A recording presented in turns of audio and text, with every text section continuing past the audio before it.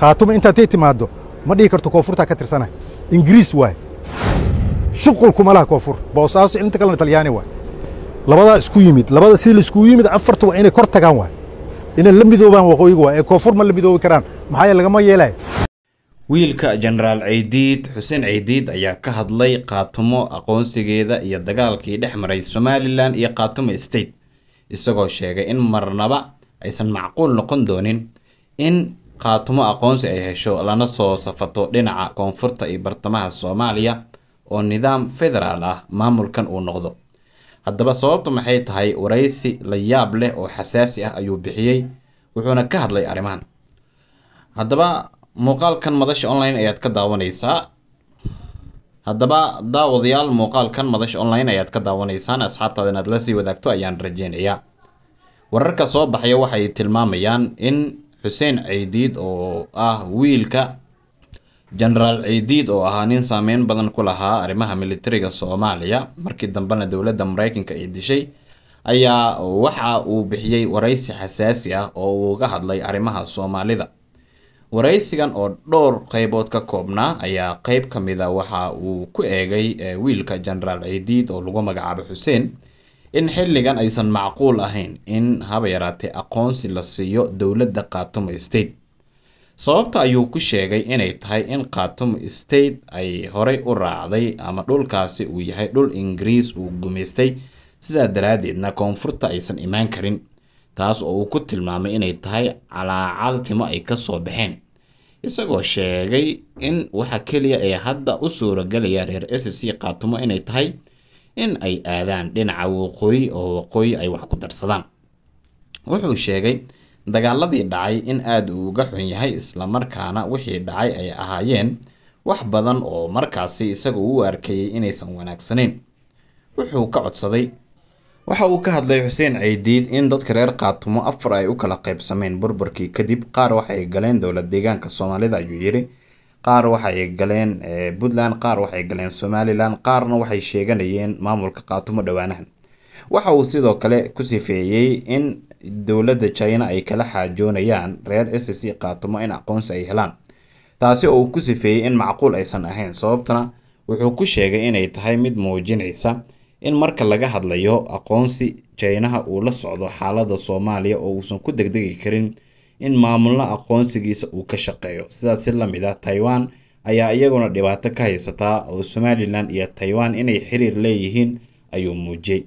Sidaa daraaddeed xuseen ceydiid ayaa waxa uu si toosa u muujiyey in uu aada uga walwalsan yahay halka ay wax ku socdaan islamarkaana uu aaminsan yahay in marnaba aqoonsi uusan heli doonin maamulkan. S c khaatumo oo hadda dhowr bilood uun jira islamarkaana sameystay madaxweyne madaxweynaha dowladda khaatumona waxaa socdaal rasmi ah uu ku joogaa magaalada caasimada ah ee muqdisho. Haddaba dad badan ayaa dood ka keenay arrintan oo tilmaamay inuu u hadlayo sida irir samaalanimada islamarkaana ninkan ay tahay in hadalkiisaba aan la dhageysan waa qaar ka mid a dadka ka soo jeeda dhulka s c oo iyagu fikirkaasi qaba. Qaarna waxay leeyihiin ninkan waxa uu sheegayo waxbaa ka jira sababtoo ah somalilan dhulka laysku yiraahdo waxaa gumaystay ingiriis ka soo bilow bari ilaa iyo jubbooyinka ilaa iyo looyacado dhinacan kalena markaan fiirino meel kastoo soomaali ay joogto.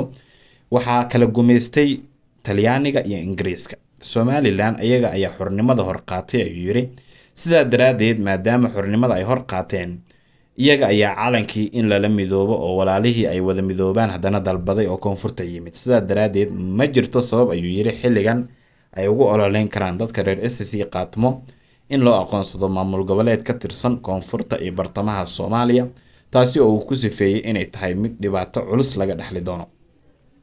Haddaba su'aalaha isweydiinta mudan ayaa waxay tahay dalka soomaaliya haddii uu ahaan jiray nidaamka federaalka ama jamhuuriyadda federaalka amba ka soo bilowno. Jamhuuriyadda federaalka waxay ahayd mid laga wada xukumo magaalada muqdisho. Guddoomiye haddii la magacaabayo haddii la bedelayo agaasime haddii la magacaabayo haddii la bedelayo. Gabadha dhulka xaaqaysa haddii la bedelayo iyo haddii la magacaabayo. Magaalada muqdisho ayaa laga amri jiray. Laakiin hadda waxaa jirta waxay tahay daawadayaal. Federaal wax la dhaha ayaa la sameeyey. Waa ibtilo soomaalida lagu soo kordhiyay laakiin haddana dhinaca kale soomaali inay ku kala badbaado ayaa loogu talagalay. Waayahay qofka jooga sanaag ma muqdisho ayuu amar ka qaadanayaa ma garow ayuu amarka ka qaadanayaa ma wuxuu amar ka qaadanayaa hargeysa waa dooda ugu weynay taagan. Reer s c waxay doonayaan in wiilka garowe jooga isaga go'aankiisa uu qaato oo siyaasadana uu ka hadlo arrimaha ammaanka uu ka hadlo dhaqaalahana uu ka hadlo. Kan jooga dhinaca iyo s c na xaq uu leeyahay sidaas si la mid a inuu go'aan qaadan karo. La tashiga ugu dambeeyana uu ka siiyo dowladda federaalka ah ee soomaaliya. Reer s c na waxay leeyihiin haddii dadka iyaga uu tashaday maxaa loo daba taagan yahay? Oo ay ula jeedaan dagaal badan ayaan galnay somalilan ayaan iska dulqaadnay waxa uu sheegayaa dastuurka laba gobol qofkii haystaahay in uu noqon karo maamul goboleed waan haysanaa maxaa nagula haystaa?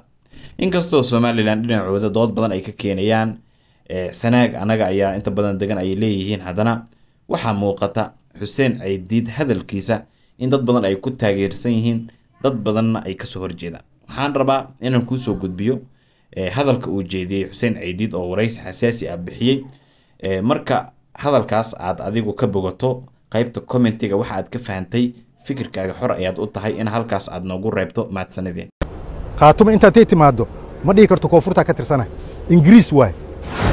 Shuqulkuma laha koonfur boosaaso inta kalena talyaani waay labadaa isku yimid labada sidii la iskugu yimid afarta waa inay kor tagaan waay. Inay la midoobaan waqooyiga waay. Ee koonfur ma la midoobi karaan. Maxaa yeele lagama yeelay? Farcii ina aadid waay. Meesha khaatuma ay ka qaldantaha waay. Shalayna way qaldanaayeen afar dowladood ay u qaybsameen. Gelinka shanaaday galeen puntlanday galeen somalilanday galeen qolana khaatumay sheeganaysa. Afar ay u kala qaybsaneen hadda waxay rabaan koonfurta china ay la hadlooyeen safaaradda china. China maxay u qabanaya waxba horumar ma la gaarin siyaasadda xaggeeda haddaan runta kuu sheego waqooyigina sidoo kale waa la isku diray. Afarta urur oo waqooyiga lama kala qaybin karo.